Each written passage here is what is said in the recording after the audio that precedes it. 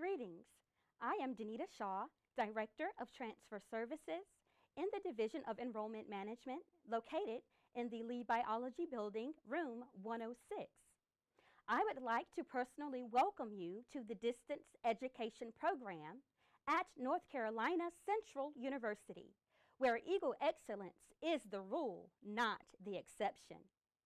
In the Office of Transfer Services, Division of Enrollment Management, our number one priority is to help you make a smooth transition to the university so you can complete your bachelor's degree.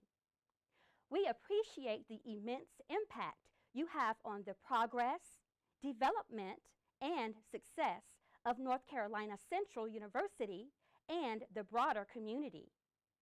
To ensure your successful transition, please remember, submit all official transcripts and ensure that your final official transcripts have been received such that your transfer evaluations are completed efficiently, reflecting accurate course credit.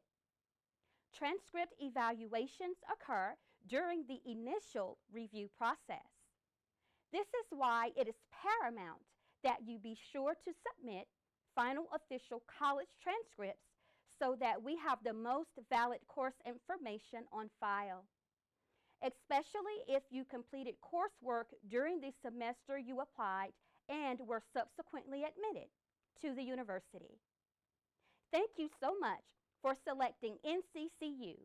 It is the place where Eagle Pride is truly amplified, and our goal is to make your graduation your destination. For information about our department, use the link at the bottom of the screen.